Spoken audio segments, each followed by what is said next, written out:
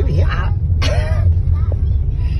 We've completely, I don't know how Andrew's done this, but we've drove through every single security post. and it's the castle. We've gone past every security and they're just all waving to us and stuff, but actually in the castle.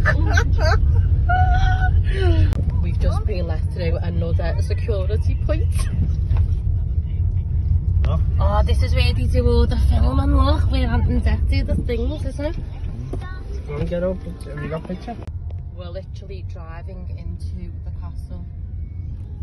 I just don't know how this has happened. Andrew's just completely blanked it. No one's asked us what we're doing, they just keep like waving us in. oh, this is hilarious.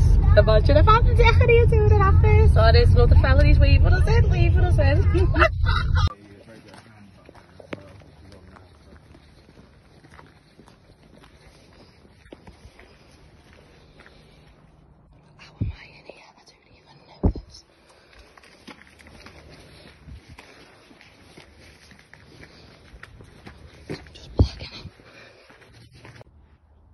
Welcome back to I'm A Celebrity, Get Me Out of Here.